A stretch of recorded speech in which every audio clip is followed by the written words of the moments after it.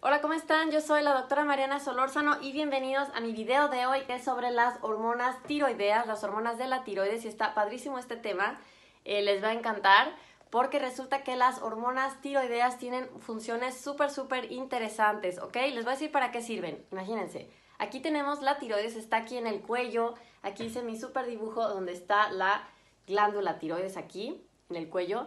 Y bueno, resulta que no creen que la glándula produce las hormonas cuando le dan la gana, sino que necesita la señal del hipotálamo y de la hipófisis, que es otra glándula en el cerebro, por eso está aquí la señal. Y entonces son tres pasos antes de que la glándula produzca las hormonas, ¿ok? Estás todo súper, súper controlado, fríamente calculado, no creen que nomás así. Y bueno, pues tiene muchísimas funciones estas hormonas tiroideas. Miren, voy a decirles, para una cosa que sirve es, por ejemplo, para la eh, alerta y la concentración, ¿ok? Entonces hay que, para poder concentrarnos, pensar, tener ganas de ir a trabajar y estar pensando ideas nuevas, proyectos nuevos y todo, pues necesitamos tener hormona tiroidea. Y la hormona tiroidea, eh, si tenemos demasiada, ¿qué es lo que va a pasar? Pues vamos a estar todos nerviosos, alterados y sin poder pensar claramente, ¿ok? Nerviosos, sin poder dormir, insomnio. Y al revés, si tenemos hipotiroidismo, que es como se le llama cuando la glándula tiroides no produce suficientes hormonas, pasa lo contrario, la persona puede estar, no se puede concentrar, cansado, es más, puede incluso tener depresión. Por eso, siempre que alguien sienta algo raro también en las emociones, hay que ir al médico porque hay problemas médicos que pueden afectar las emociones también. ¿Ok? Luego, también tiene que ver con los, eh, con el metabolismo, el metabolismo, y eso es cómo utiliza nuestro cuerpo la energía la energía, si la acumula, si la utiliza, etcétera. Todos sabemos qué pasa si, se si acumulamos la energía de lo que nos comemos, pues se nos va a guardar como grasa, ¿ok? Empezamos a subir de peso. Entonces, cuando están alteradas las hormonas, si alguien tiene hipotiroidismo, hipo, o sea que funciona menos, puede ser que la persona aumente de peso, aunque no coma mucho, puede ser que no, pues está aumentando de peso y no sabe por qué. También eh, puede tener eh, pelo fino, piel seca, ¿ok? Eso también lo puede ocasionar. Y al contrario, si alguien tiene hipertiroidismo, entonces puede estar la persona como siempre sentirse muy agitada y también puede ser que, esté, que empiece a bajar de peso. Eso no es regla, pero eso también puede suceder, ¿ok?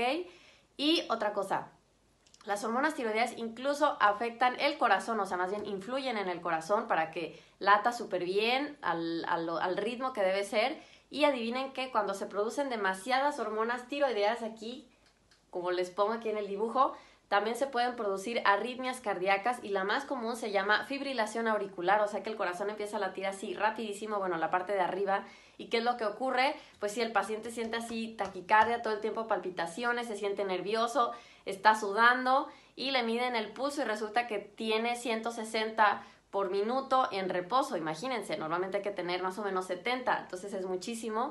Y eso es debido a las hormonas tiroideas. Y al revés, si alguien tiene muy poquitas, entonces puede ser que el corazón esté más lento y no, pues se siente cansada la persona, no se siente con energía, no puede hacer ejercicio, ok, todo es más, más, más lento.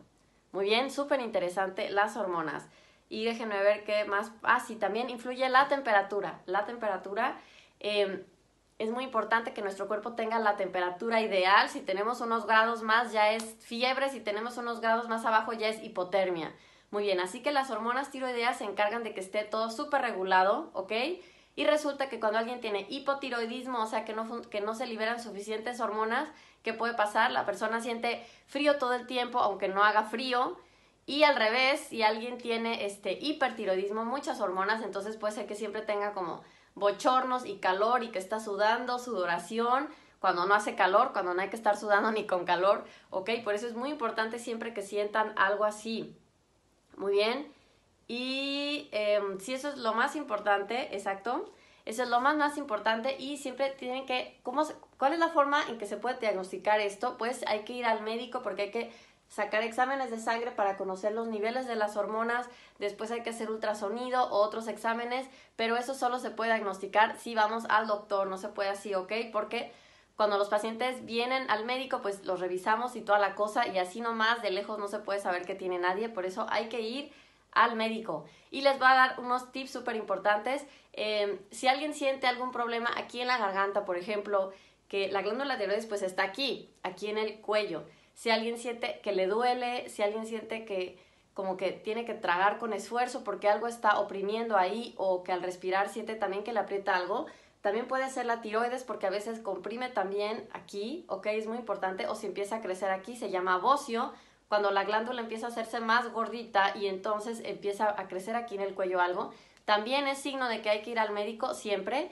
Y otra cosa es, eh, hay diferentes enfermedades de la tiroides, por ejemplo, la enfermedad de Graves, que es una enfermedad autoinmune en la que esa es la primera causa de hipertiroidismo. Pero bueno, aquí lo que quiero decirles es que también se pueden afectar los ojos, entonces eh, los ojos se pueden empezar a como saltar porque se empiezan a, bueno, hay como un tipo de inflamación en la parte de atrás de los ojos y eso hace que entonces se empujen los ojos hacia adelante y se empiecen a ver como saltados, ¿ok? Eh, o se pueden sentir secos o simplemente con una molestia. Así que también si sienten molestias en los ojos, no lo pasen nomás así por alto, sino que vayan al médico para que lo revisen porque hay muchas enfermedades que muchos, bueno, signos y síntomas que pueden uno pensar que no significa nada, pero resulta que sí significan algo importante para el cuerpo, que algo no está bien. Así que, pues les recuerdo todo, su, todo este, esto sobre el cuerpo que está padrísimo. Eh, como siempre, síganme en Facebook, en Instagram, vean mis videos en YouTube.